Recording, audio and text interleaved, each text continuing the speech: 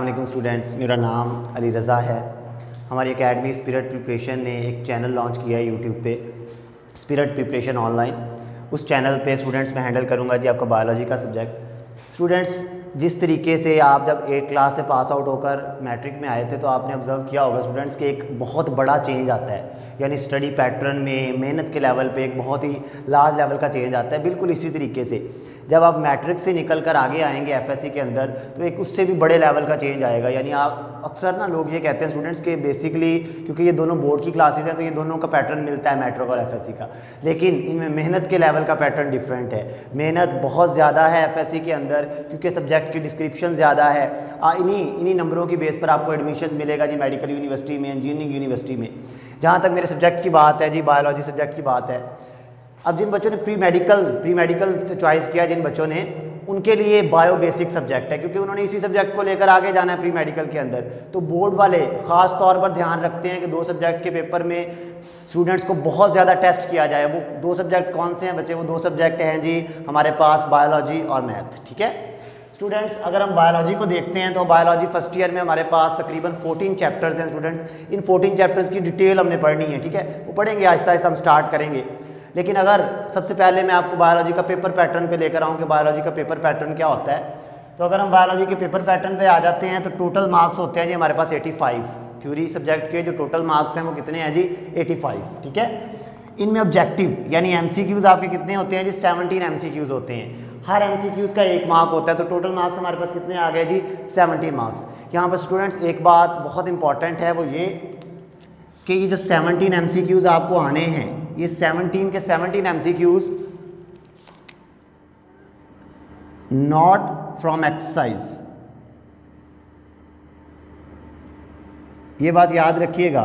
Students ये बात याद रखिएगा कि एमसीक्यूज एक्सरसाइज में से नहीं आते, ठीक है? अक्सर बच्चों के जहन में ये बात होती है कि जी एमसीक्यूज जो है ना, वो एक्सरसाइज में से आएँगे, लेकिन स्टूडेंट्स ये आपने इस बात को फॉलो करना है। कि बायो के अंदर specially M C Qs within the chapter से आते हैं। तो इसका मतलब ये है कि आपको जो भी चैप्टर आप पढ़ें, आपको उसे thoroughly completely word by word study करना पड़ेगा और बायो और मैथ के अंदर यही चीज़ है जो इन्हें बहुत ज़्यादा स्पेसिफिक बनाती है कि इनके एम सी क्यूज़ जो है ना, बच्चे वो हमेशा आएँगे, उसमें से आपके जो बुक का एक चैप्टर है, उसके इनसाइड से आएँगे थॉरली आपको पढ़ना पड़ेगा।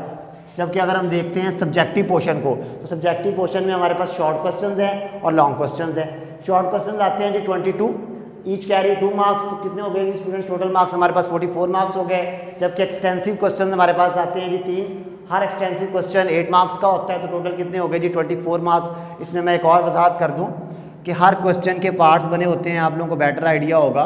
ए और बी ए पार्ट भी फोर मार्क्स का होता है. बी पार्ट भी फोर मार्क्स का होता है. तो टोटल मार्क्स जी कितने हो जाते हैं हमारे पास? एट, ठीक है?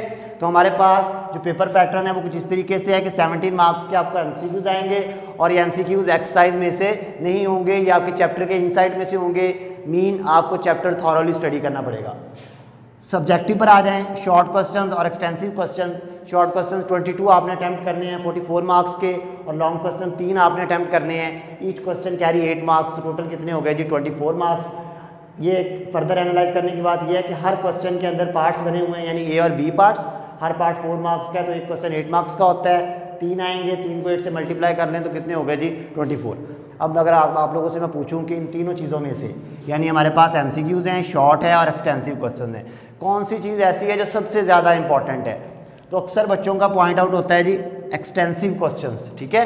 कि लॉन्ग क्वेश्चन को अटैम्प्ट करना बहुत जो इंपॉर्टेंट थिंग है लॉन्ग क्वेश्चन अटैम्प्ट कर लें, लेकिन ये बात गलत है। बच्चे, आपका पेपर जो डिफाइन करती है, जो चीज़ आपके पेपर को डिफाइन करती है वो हैं जी आपके शॉर्ट क्वेश्चन ठीक है? जिस बच्चे ने बायो के अंदर शॉर्ट क्वेश्चन सही तरीके से अटैम्प्ट कर लिए, जिस स्टूडेंट ने उसका पेपर बेहतरीन तरीके से प्रेजेंटेशन के साथ एग्जामिनर को मुतासर करता है जी, ये बच्चा बहुत लाइक है, यानी वो आपको आगे बताएँगे कि आपने शॉर्ट क्वेश्चन किस तरीके से अटैम्प्ट करना है। लेकिन ये बात करने का मकसद ये है स्टूडेंट्स कि आपका फोकस कभी भी डिस्ट्रैक्ट नहीं होना चाहिए किस चीज़ से? शॉर्ट क्वेश्चन से। कुछ स्टूडेंट्स कहते हैं जी, हम लॉन्ग क्वेश्चन वाले चैप्टर अच्छे तरीके से तैयार करेंगे, बिल्कुल गलत बात है। बल्कि लॉन्ग क्वेश्चन वाले तो आप करें ही। लेकिन शॉर्ट क्वेश्चन वाले चैप्टर उससे भी ज़्यादा अच्छे तरीके से तैयार करें, क्योंकि ये शॉर्ट क्वेश्चन ही हैं जो आपके पेपर को एक गुड और एक्सेलेंट पेपर बनाते हैं। तो हमने शॉर्ट क्वेश्चन पर ज़्यादा फोकस करेंगे अपने लेक्चर्स के दौरान। एक्सटेंसिव पर भी करेंगे, लेकिन शॉर्ट पर क्वेश्चन पर हमारा खास तौर पर फोकस बहुत ज़्यादा होगा। आपने पढ़ते वक्त भी ये ख्याल रखना है शॉर्ट क्वेश्चन को अटैम्प्ट कैसे करना है सॉल्व कैसे करना है। स्टूडेंट्स नेक्स्ट चीज़ जो मैं आपसे डिस्कस करना चाहता हूँ इस इंट्रोडक्शन लेक्चर के अंदर, वो ये है कि हम जिस तरह चैप्टर बुक पे दिए हुए हैं स्टूडेंट्स यानी वन टू थ्री हम उस तरीके से मैनेज नहीं करेंगे। हमारे पहले लेक्चर्स जो होंगे, वो स्टार्ट होंगे जी, हम स्टार्ट लेंगे। कोर्स का स्टार्ट करेंगे जी। चैप्टर नंबर थ्री से। कोर्स का हम स्टार्ट करेंगे चैप्टर नंबर थ्री से। ऐसा क्यों है? बच्चे किसी भी चीज़ को स्टार्ट स्टार्ट में लेकर आना ना, ये सबसे एक इंपॉर्टेंट चीज़ होती है। स्टूडेंट जब भी आप किसी चीज़ को स्टार्ट करना स्टार्ट अच्छा कर लें ना तो वो चीज़ बहुत ही अच्छे तरीके से आप उसे कंप्लीट करते हैं। तो अगर हम फ़र्स्ट चैप्टर से स्टार्ट करते हैं तो फ़र्स्ट चैप्टर में कुछ चीज़ें ऐसी हैं, जो स्टूडेंट्स को कई दफ़ा बोरियत की तरफ़ ले जाती हैं, जिसकी वजह से स्टूडेंट्स का ध्यान डिस्ट्रैक्ट हो जाता है। तो हम चैप्टर नंबर थ्री से चैप्टर नंबर थ्री से स्टार्ट करेंगे। बहुत सिंपल चैप्टर है इजी है, एक स्मॉल चैप्टर है जल्दी जल्दी हम इसे क्लेरिफाई करेंगे। तो हमारा जो स्टार्ट होगा, वो किस चैप्टर से होगा? जी चैप्टर नंबर थ्री से। स्टूडेंट्स ये जो लेक्चर था, इसका मकसद ये था कि आपका तारुफ कराना कि बायो क्या है? बायो के बारे में बेसिकली आपका नॉलेज है, लेकिन फ़र्स्ट ईयर की बायो बहुत ज़्यादा इंपॉर्टेंट आप ये कह लेंगे कि आप डरने वाली बात नहीं है कि बहुत ज़्यादा डिफ़िकल्ट है। बाहर से कुछ नहीं आएगा, जो कुछ भी आएगा बुक के इनसाइड से आएगा। लेकिन मकसद बताने का आपको ये है कि अब आपको मेहनत का लेवल जो है ना, वो मैटर के मुकाबले में डबल करना पड़ेगा, क्योंकि क्वांटिटी और क्वालिटी दोनों ही चीज़ें इंक्रीज हो जाती हैं एफएससी के अंदर। एफएससी आपसे दोनों चीज़ें डिमांड करती है। दोनों चीज़ें कैसे?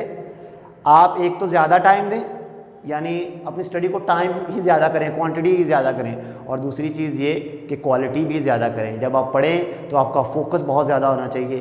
हमारे चैनल पर जो लेक्चर्स होंगे ना, उनका मकसद सिर्फ़ ये नहीं होगा कि आपको रट्टे लगवाना है, उसका मकसद ये भी होगा कि आपके कॉन्सेप्ट क्लियर करने हैं। क्योंकि आप लोगों को पता है कि आपने एफ़ के बाद फॉलो करना है जी एम को तो एम में आपके कॉन्सेप्ट का लेवल बहुत हाई होना चाहिए, ठीक है? तो ये था जी हमारा आज का इंट्रोडक्शन लेक्चर जिसमें हमने सिलेबस को डिस्कस किया कि हमारे पास सिलेबस कौन सा है जी। हमारे पास 14 चैप्टर्स हैं बायो के एक एक करके डिस्कस करेंगे पेपर पैटर्न को देखें। तो पेपर पैटर्न में हमारे पास टोटल मार्क्स 85 हैं। जिनमें ऑब्जेक्टिव में आपके पास 17 एमसीक्यूज होंगे, ये बात याद रखिएगा कि ये एमसीक्यूज एक्सरसाइज वाले नहीं होंगे, ये बुक के चैप्टर्स के इनसाइड से आएँगे, इसका मतलब है कि आपको चैप्टर्स को थॉरली रीड करना पड़ेगा, ठीक है? सब्जेक्टिव क्वेश्चन में आ जाए तो शॉर्ट क्वेश्चन होंगे और एक्सटेंसिव क्वेश्चन शॉर्ट क्वेश्चन तकरीबन 22 अटैम्प्ट करने होते हैं आपने, जो कितने बन जाते हैं जी 44 मार्क्स के. और एक्सटेंसिव क्वेश्चन जी, हम तीन अटैम्प्ट करते हैं पेपर के अंदर जो अटैम्प्ट करने होते हैं. हर क्वेश्चन एट मार्क्स का होता है तो टोटल कितने हो गए जी ट्वेंटी फोर मार्क्स हर एक्सटेंसिव क्वेश्चन में आगे फर्दर पार्ट्स बने होते हैं ए और बी हर पार्ट कितने मार्क्स कैरी करता है जी? फोर मार्क्स तो टोटल ये क्वेश्चन कितने मार्क्स का हो जाता है जी? एट मार्क्स का। और एक इंपॉर्टेंट बात कि हम चैप्टर नंबर वन से स्टार्ट नहीं करेंगे। हमारे जो नेक्स्ट लेक्चर्स होंगे, वो किस चैप्टर से होंगे? चैप्टर नंबर थ्री से होंगे। अपना ख्याल रखिएगा। अल्लाह हाफिज़। शुक्रिया।